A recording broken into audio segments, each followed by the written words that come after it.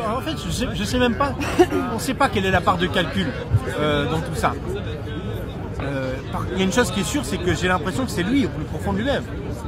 Une fois vous dites que c'est un dérapage, deux fois, ça, comment ça vous dit- trois fois c'est un calcul, mais un multirécidiviste comme ça, c'est en lui. C'est en lui. Il a le mépris, le mépris de classe en lui, c'est tout.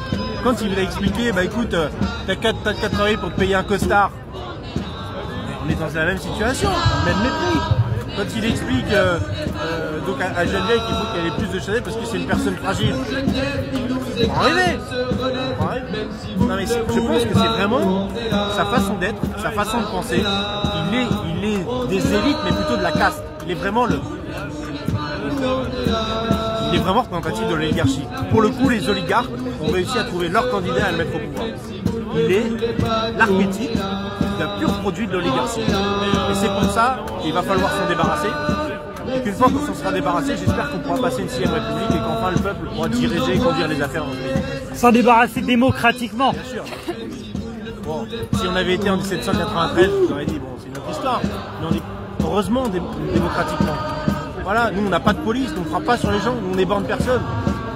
Non, on ne tue pas euh, une vieille dame qui est à sa fenêtre, euh, qui se prend un palais de lacrymo euh, C'est- c'est pas nous, c'est lui ça. Ça c'est lui. Ça c'est lui et son gouvernement.